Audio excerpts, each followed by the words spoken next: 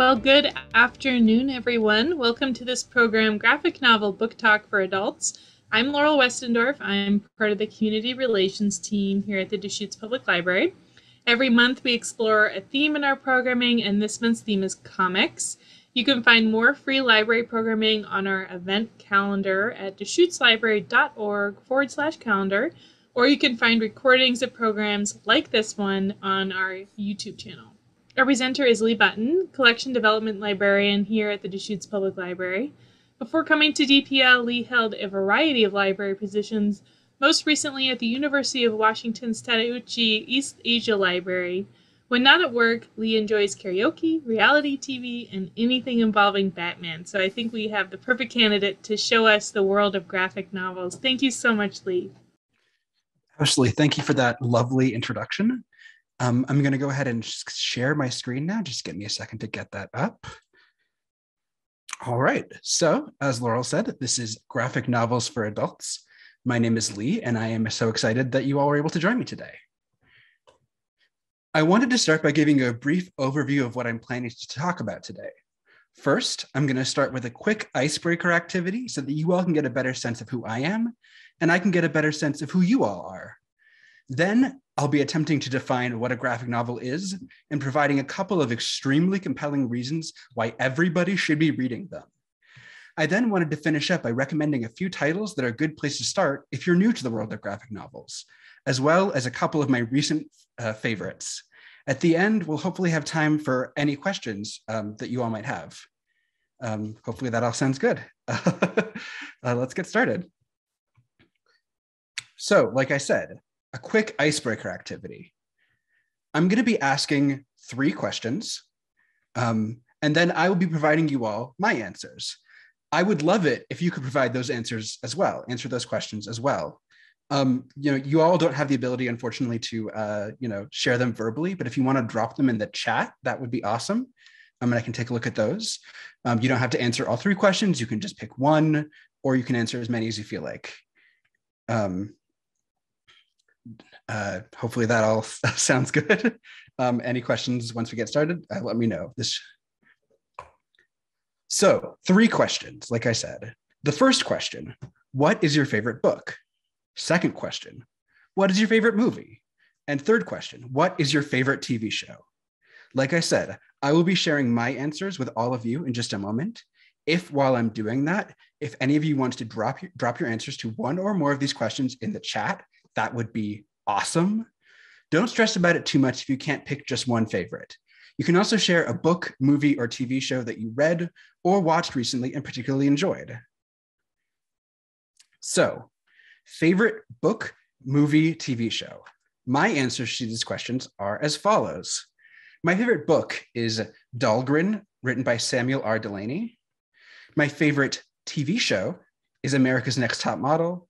And my favorite movie is Carrie, starring Sissy Spacek. I realize I went out of order with those. I hope that didn't throw anybody. Does anybody else want to show their fa- share their favorite book, movie, or TV show? I'm seeing that Marilyn says favorite TV show, Seinfeld. Awesome, love that.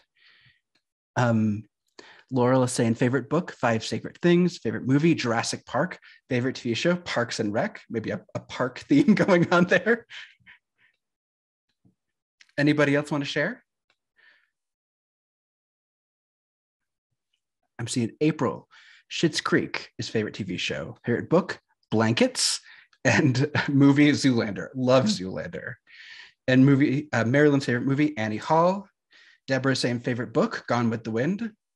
Awesome. So we're getting a pretty wide uh, range of interests represented, which is really cool. And then Marilyn's favorite book is uh, Captain Corelli's Mandolin. I've never read that book. I actually don't even know if I was a book, but that's a movie as well, right? I think I've seen the movie. Cool. I'm going to go ahead and move on if that's all right. If anyone wants to continue to uh, share in the chat, I'll keep an eye on that. But I think it's time to. The book is better. Cool. I didn't know that. I'll be sure to take a look at that. Uh, let's go ahead and move on to another one of my favorite topics graphic novels. Woo! Uh, before I get started on the fun stuff, there's a hot topic in the world of graphic novels, more specifically in the world of graphic novels for teens and kids, but that I feel it'd be remiss of me not to at least mention. Has anybody heard what's going on right now with the book Maus? Unfortunately, I can't, you know, see you guys to know whether you're shaking your heads or nodding, but I'll assume that at least some of you haven't. So let me talk about it. The school board for McMinn County in Tennessee elected to remove the graphic novel Maus from classrooms. Maus is a Pulitzer Prize winning book known for its unflinching depiction of the Holocaust through the eyes of, um, excuse me, through the eyes of writer and illustrator Art Spiegelman's father, a Holocaust survivor. Although this particular case has drawn a great deal of attention, it's only one in a series of efforts to ban or otherwise limit access to graphic novels, especially those that come from minoritized creators. Another example is Genderqueer, written and illustrated by, and I'm not quite sure how to pronounce this name, Maia Kobabe would be my guess, a graphic novel that is currently one of the most banned books in the country. I'm not here to talk about censorship in the context of literature for children and teens, but I did want to point out that there seems to be something of a double standard when it comes to graphic novels. A lot of the content being pointed to as objectionable in these titles, especially related to sexuality, language, and violence, is comparable to or even milder than the content of prose works that have, at least so far, you know, fingers crossed, gone unchallenged. I have my own thoughts about why this might be, but before I share them, I was wondering if any of you had any guesses to why graphic novels in particular have been the subject of so many challenges recently. So if anyone wants to drop those guesses in the chat, I would love to see those. I'll give you a second to type because I know it can take a little while to, to do that. Does anybody have any thoughts as to why graphic novels have been the subject of a lot of book challenges recently?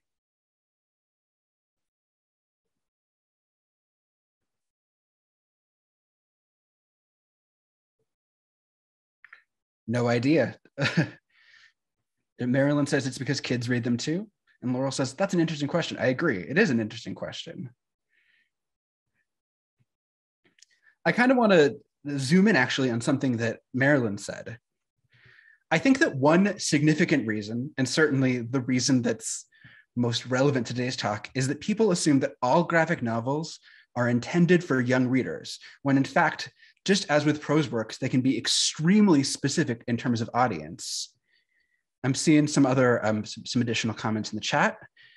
Um, April says it's no longer up to an individual's imagination to see what a scene might look like. I think that's really true. I think that there's a visual impact in graphic novels that's not there in you know prose works.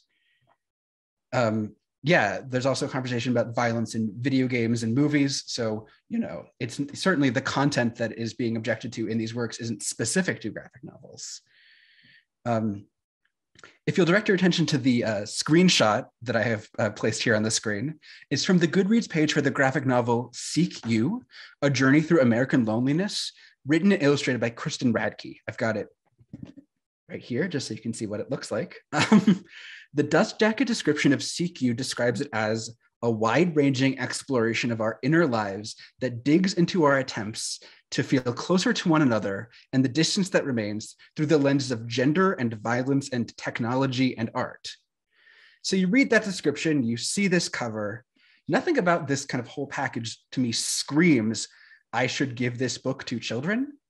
And yet, there are definitely people out there who look at the title, see that it's a graphic novel, and guess that it might be family friendly. I re- recognize I'm bragging a little bit on the person asking this question, HN. I don't know who they are. I don't know why they felt like they um, wanted to ask this. Um, but it's certainly reflective of an attitude that I've encountered in other contexts. Now, here's a question for you all.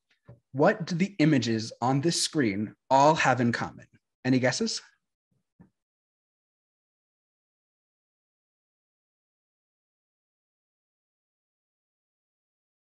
Anybody have any ideas what these all have in common?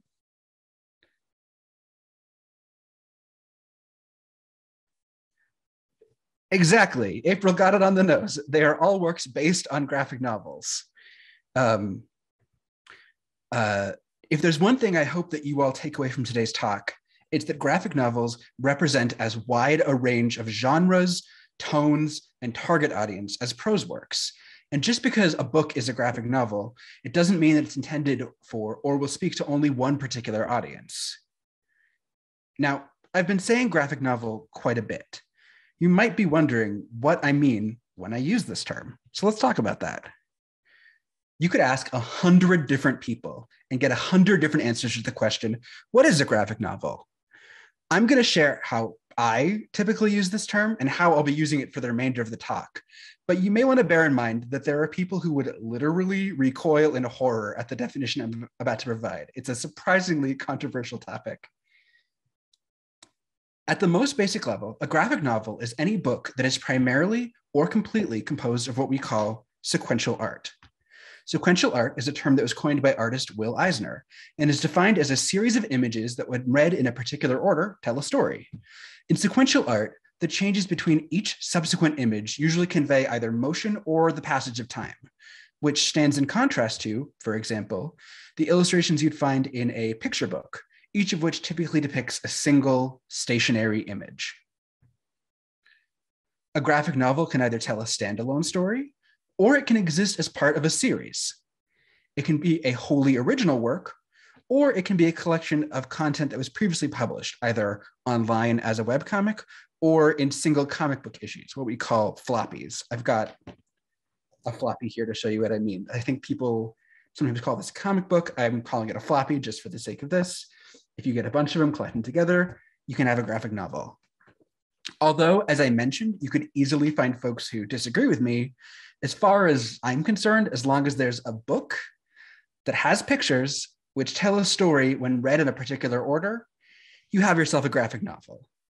Before we move on, does anybody have any questions at this point, maybe about what constitutes a graphic novel, anything else I've kind of mentioned so far? Giving folks a check in, second to type their questions in the chat if they have any.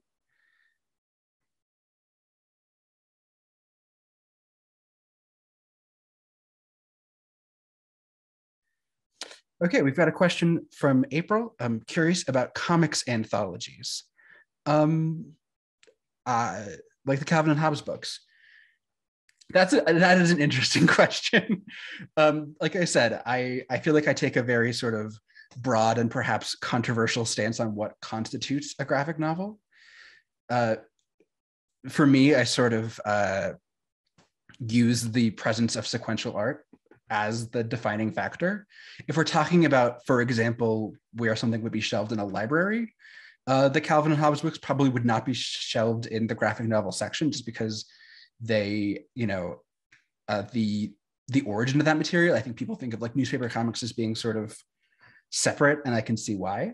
Um, but I don't personally feel the need to differentiate them when I'm just talking about them casually. And I think that again with newspaper comics as with kind of other forms of comics that we're talking about there's a wide range of audiences and genres represented. So for me it all makes sense to discuss it as one kind of cohesive whole but i could definitely see the argument that they need to be siphoned off in some way. I feel like that was a little rambly. I hope it hope it all made sense. Does anybody else have any uh, questions at this point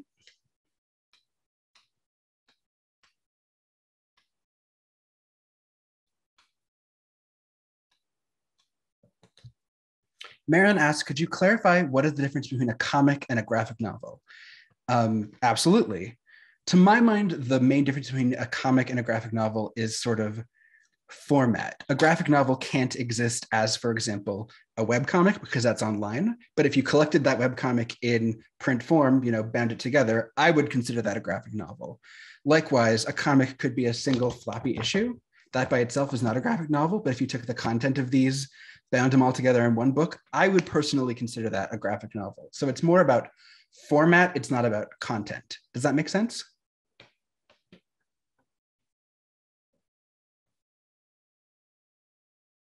Cool. All right. Like I said, we'll have more time for questions at the end. So if any of you are still stewing, formulating, please, uh, please let me know at that point. Uh, now, if you're here, I'm assuming you're at least somewhat interested in reading graphic novels, but I'm hoping that by outlining some of the reasons that I personally read them, I can either motivate you to move some titles from your to be read pile to your actively reading list, or I can help you overcome any hesitation you've experienced that's prevented you from picking up a graphic novel up to this point. Arguments for the importance or validity of graphic novels often revolve around how they can encourage young folks who are reluctant readers to pick up more books. That's great for reluctant readers, um, but it certainly isn't top of mind for me when I pick up a graphic novel to read and enjoy. When reflecting on why I read graphic novels, I came up with three main reasons that I'll be sharing with you all today. The first is that graphic novels promote visual literacy. The second is that they showcase creators from diverse backgrounds. And the third is a secret surprise that I will get to in just a second. So let's dive into each of these a little bit more. First, visual literacy. I'm sure that most of you are familiar with the concept of literacy, but did you know there's actually many different types of literacy? It's not just about the ability to read written words on a page. The ACRL defines visual literacy as a set of abilities that enables an individual to effectively find, interpret, evaluate, use, and create images and visual media. What that means, in essence, is that a visually literate person is someone who can look at an image and gather information from it, and to effectively convey information to others using images. Thinking about the sheer number of images that the average person encounters in a given day I'm sure you can imagine why it's important to be able to make sense of those images and the information they contain. So, what does this all have to do with graphic novels? I'm sure you're wondering. By presenting text alongside illustrations, graphic novels provide multiple channels through which information can be conveyed to the reader. This can include design choices such as the layout of the page or use of color, in addition to the contents of the images on the page and the written text itself. What's really cool about this is that creators can either reinforce a single message by making sure that all of these channels of information work in tandem, or they can use these channels to prevent conflicting information in a way that trains the reader to question what they see and to not take everything at face value. Let's look at some examples of each. One example of a title that makes great use of multiple channels of information is a personal favorite title of mine, The Art of Charlie Chan Hock Chye, written and illustrated by Sonny Liew. Presented as the biography of a fictional cartoonist, this title tells the story of Singapore by showing how various seismic events in the country's history impact the style and subject matter of Charlie's work. The changing illustration style throughout the course of the book underscores how one's worldview can change in light of events both big and small. As Charlie's awareness of the complicated and messy world around him grows, his art becomes more detailed and the stories he tells become darker in tone. We are explicitly told how Charlie feels about the events that transpire, but we can also see echoes of those feelings in his art. Liew uses artistic decisions to reinforce the message of the text and the images, but that doesn't always have to be the case. Sometimes an artist can intentionally create a disconnect between story and art in order to create a more layered reading experience. An example of this can be seen in Stone Fruit, written and illustrated by Lee Lai.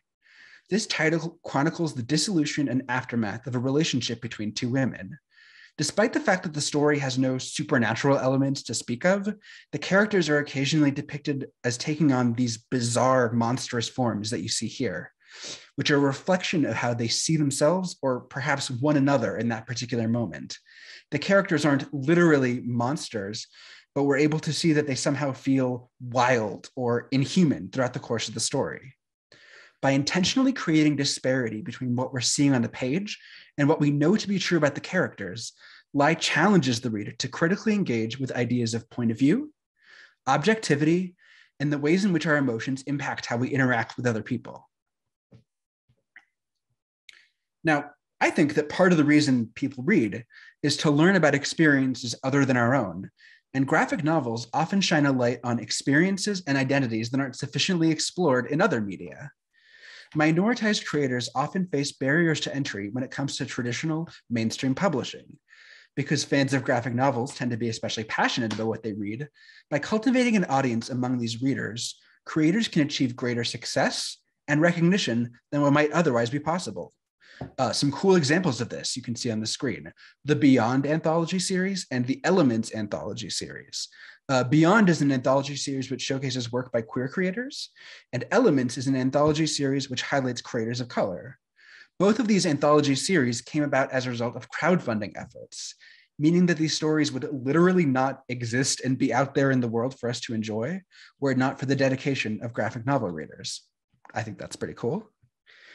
Creators can also build an audience for their work online, either through webcomics or through art posted to social media, which can in turn lead to mainstream publishers taking note of creators and works that they might otherwise overlook. A great example of this is Aminder Dhaliwal, a woman of color whose work often features LGBTQIA plus themes and characters. Dhaliwal began posting comics to her Instagram and eventually developed such a following online that she drew the attention of a major print publisher which led to her comics being collected in print. One of these collections is Cyclopedia Exotica, a humorous and irreverent examination of a world in which humans live alongside a race of, a race of one-eyed cyclopses. Cyclopedia Exotica is an extremely strange but ultimately delightful book, and it's hard to imagine achieving the level of recognition that it did if Dhaliwal didn't bring a considerable audience with her already. So, I teased earlier that I had three reasons why all of us should be reading graphic novels. Does anybody want to guess what the third reason might be?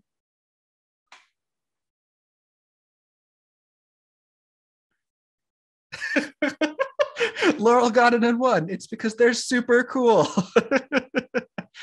Whatever your interest in terms of genre, setting, character, or tone, I believe there is a graphic novel out there that is just right for you from horror to romance to humor and sci fi, there's an amazing array of stories being told in the graphic novel format.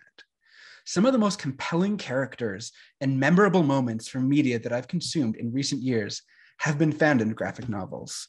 I'm always excited when I get to share the joy that I get from reading these stories with other people, like all of you. so, now that you've been won over by my incredible skills of persuasion, I'm sure you're wondering what graphic novels would I recommend? I'm going to begin by going over some titles that are good places to start if you're new to the world of graphic novels. Then I'm going to be highlighting a few recent titles that really stood out to me. Just because I'm curious, as I'm going through each of these, there is something I would like all of you to do. If a title comes up on screen that you've already read, I would love it if you could type read that into the chat.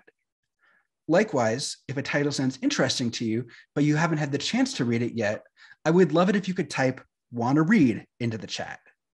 This will help me to get a better sense of the level of experience with graphic novels that you all are bringing to the table and where the focus of your collective interest may lie. So that's read that for books that you've read and want to read for books that look interesting. Does that all sound good? I I have to assume that you all are uh, nodding your heads vigorously because, again, I can't see you. no discussion of adult graphic novels would be complete without mentioning Alison Bechdel. A luminary of the comics industry, Bechdel creates works that strike the perfect balance between searingly intimate and universally relatable, heartbreakingly sad, yet gut bustingly hilarious. Fun Home in particular, Bechdel's reflections on coming of age and her complicated relationship with her father is a great place for newbies to start. Pick this one up if you're a fan of literary fiction, if you're in need of a good laugh, or if you're in need of a good cry. So I'm seeing some people have said in the chat that they've read that.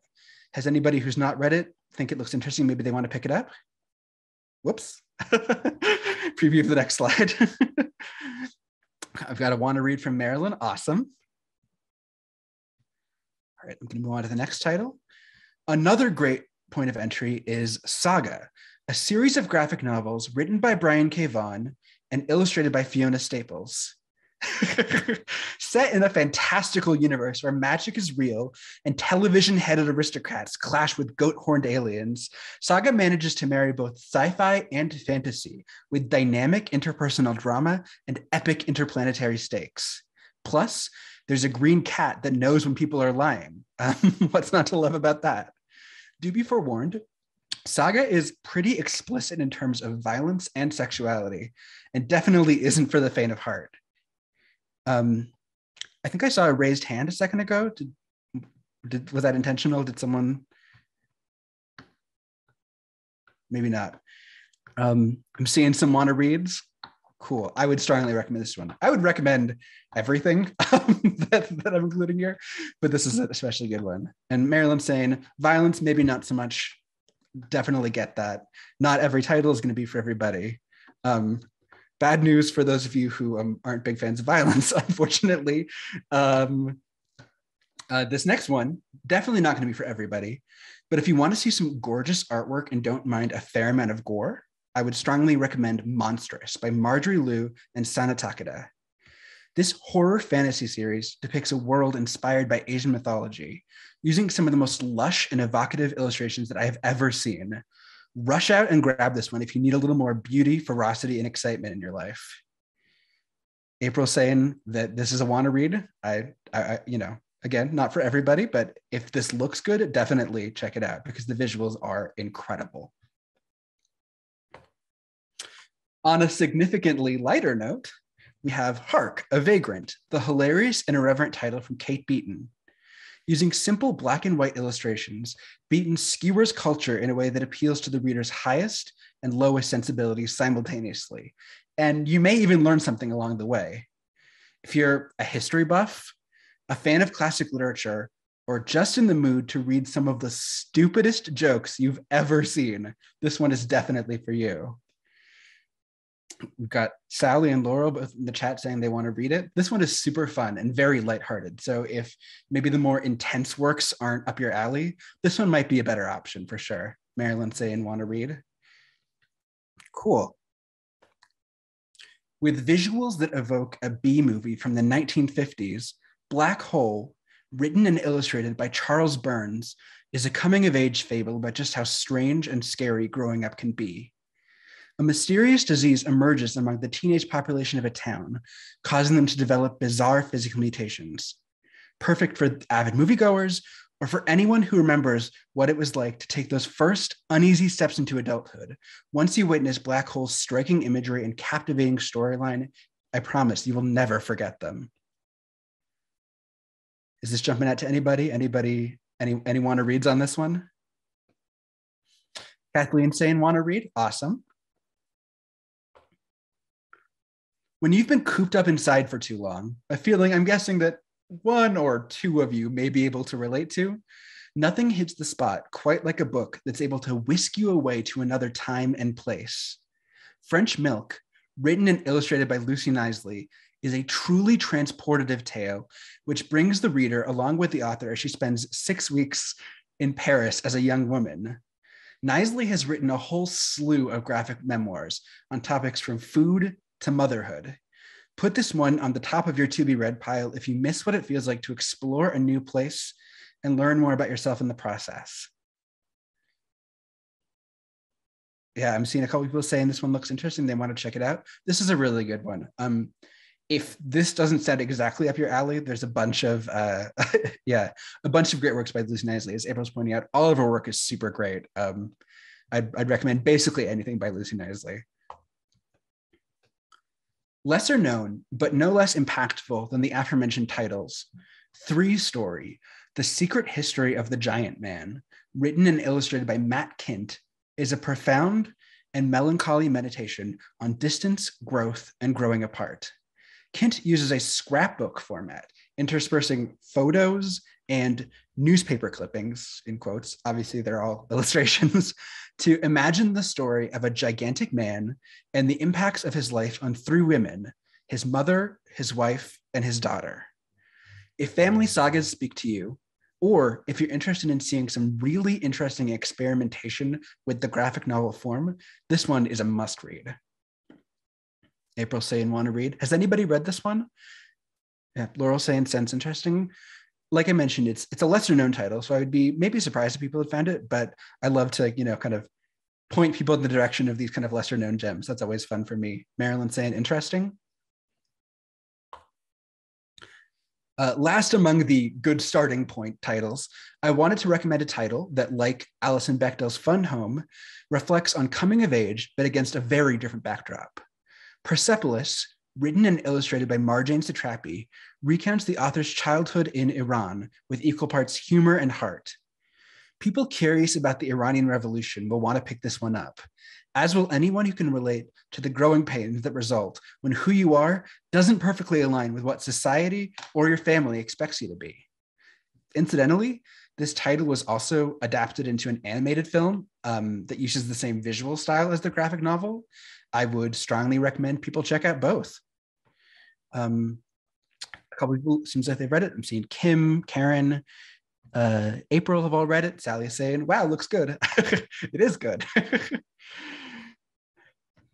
so, like I said, those were some of the what I think are the best starting points if you're new to the world of graphic novels. Um, before I jump into the recent releases, is everybody feeling good? Um, I'm going to take a quick drink of water if anyone wants to drop any thoughts in the chat before I move on.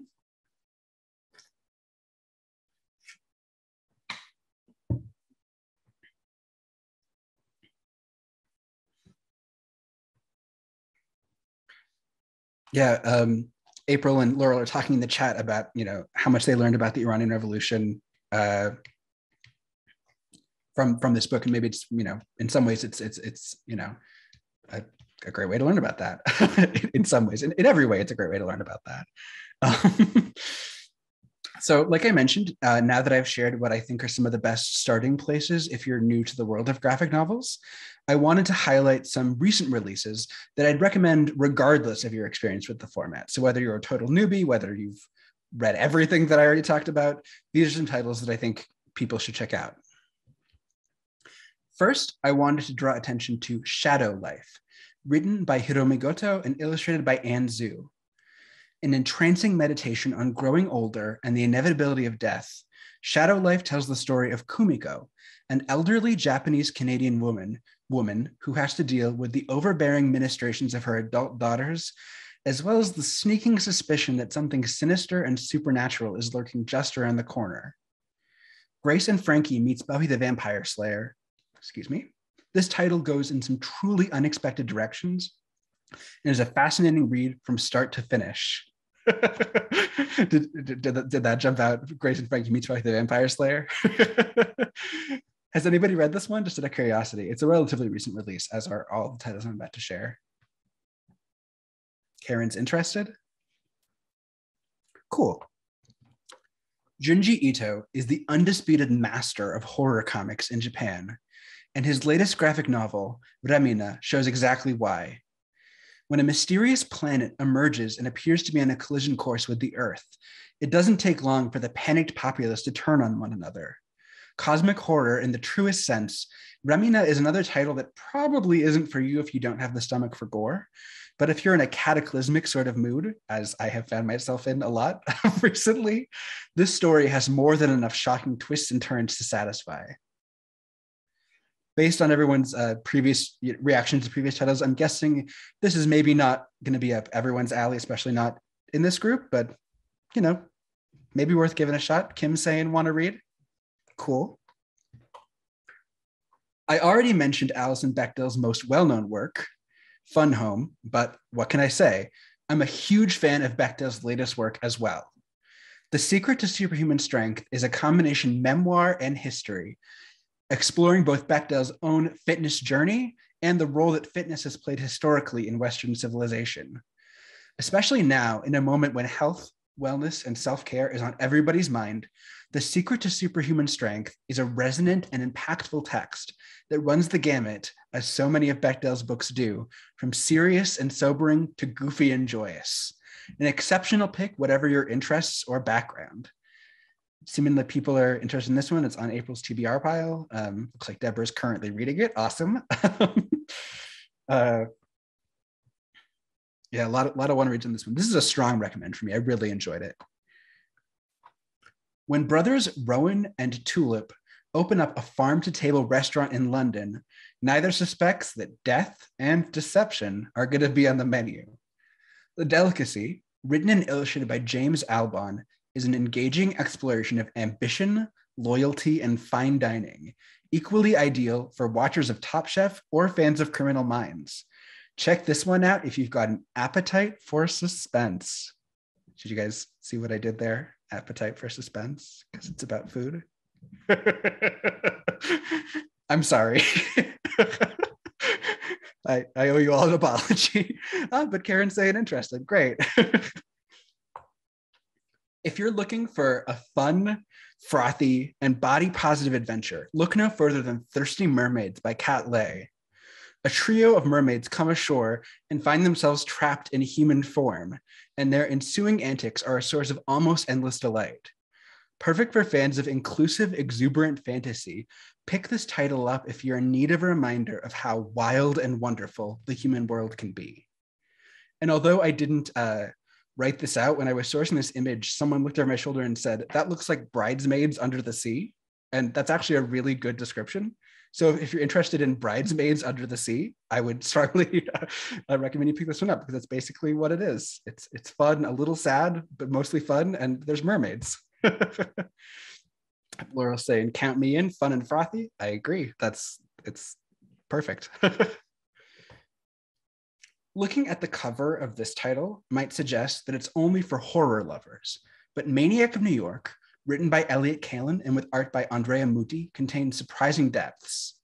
In a version of New York where a supernatural slasher is just another fact of life, the uh, Daily News gives a maniac forecast alongside traffic and weather. The real peril proves to be a bureaucratic system better at placing the blame than grappling with difficult realities. Tense, engaging, and humanist, Maniac of New York is a must read for fans of action with a socially conscious twist. I'm seeing a nah from Sally on this one. Yeah, again, based on the interest that you all have shown so far, it's seeming like maybe the the gorier, the horror, hor- horror. Whoa, that's hard to say. Gore and horror is maybe not up everyone's alley, but Kim saying looks good. Yeah, this one really surprised me. I was not expecting what it would be when I went in yeah, Marilyn's saying too much like reality. I get that. You know, part of the reason I think some people read is to escape, get away from real life, and stuff that reminds you of real life is not always what you want, you know, in that moment. So I definitely get that. So this is the last kind of recent release that I pulled out and I wanted to share with you all. Um, it's called Wake. It was written by Rebecca Hall and illustrated by Hugo Martinez. Wake tells the story of several slave uprisings led by women, events that have been largely erased from the historical record. Hall and Martinez give faces and forms to these forgotten female freedom fighters, and in doing so, take a stand against the structures of power that would seek to diminish, dehumanize, and devaluate this one, de- devaluate them, excuse me. Pick this one up for a necessary reminder that throughout history, extraordinary individuals have stood up to unjust systems, even in the face of immense hardship. Yeah, we've got a couple people in the chat saying that they're interested. Looks good. Sally, Karen, Kathleen, April. Yeah, this is a strong recommend for me. I wanted to kind of finish out strong. This is one I would recommend everybody pick up. So I could go on. There's a lot more titles I'd be happy to talk about, but I think now is a good time to, yeah, Marilyn, uh, that's an excellent choice for Black History Month. Uh, I think now is a good time to uh, stop with the recommendations and say thank you all so much for listening. Um, if even a little bit of my enthusiasm for graphic novels has rubbed off on any of you, I feel like I have done my job today. I've listed my uh, email and phone number on the slide here. If any of you would like to follow up with me later, if you have any questions, if you want to just talk about graphic novels, I'm always happy to do so. um, and if anybody has any questions for me now, I would be happy to uh, try and answer those. That was great, Le. Thank you. And I just want to reiterate that I will be making a biblio list that's connected when possible to our catalog and sending that out to everyone who attended. Um, so I will follow up with that so you don't have to write frantically as I was starting to do and then realize, wait a second, I'm no, there's too many. Yeah, and if you are um, a, a, DPL card holder, all of these should be available to you. So wonderful, good. Does anybody have any questions, anything they want me to talk about further, any thoughts they want to share?